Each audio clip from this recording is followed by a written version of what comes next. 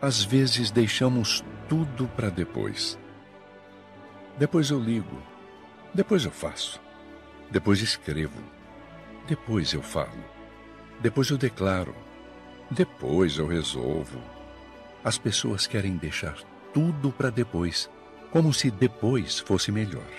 O que elas não sabem é que depois o café esfria. Depois a prioridade muda, o encanto se perde, o cedo fica tarde, a saudade passa. Depois tanta coisa muda.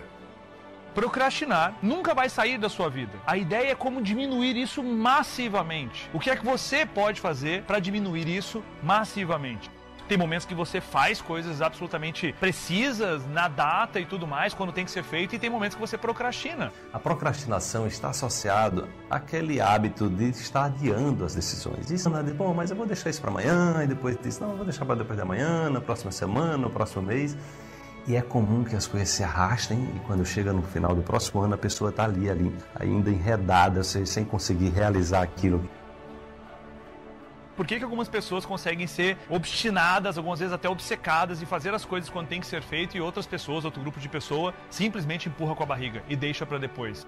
O primeiro grande ponto para você realmente tirar a procrastinação da sua vida é você ter um propósito muito bem definido, um propósito muito claro, sabe? Clareza é poder. Quanto mais claro você tiver a visão do que você quer realizar, mais forte isso fica dentro de você. Mais sem sentido vai ser gastar tempo com outras coisas. Quanto você procrastina, quanto você deixa para depois?